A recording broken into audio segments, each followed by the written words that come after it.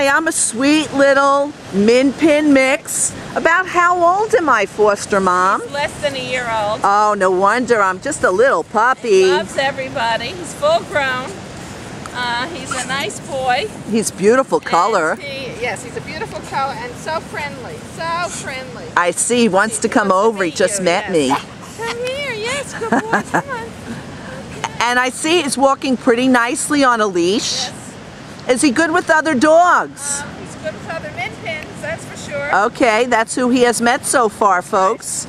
So please apply to adopt this adorable little min pin at www.wagoninn.rescuegroups.org.